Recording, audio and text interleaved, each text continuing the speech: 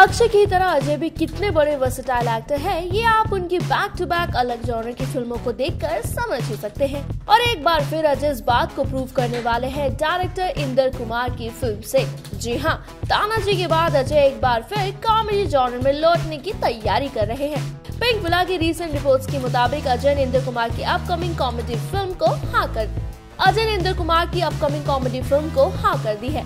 जिसमें ना सिर्फ़ अजय अपनी कॉमेडी का तड़का लगाएँगे, बल्कि एक ज़बरदस्त सोशल मैसेज भी इसके थ्रू देंगे। बता दें कि अजय की ये फ़िल्म एक विदेशी फ़िल्म का रिमेक होने वाली है, जिसमें दो बड़े एक्टर्स एक साथ दिखाई देंगे।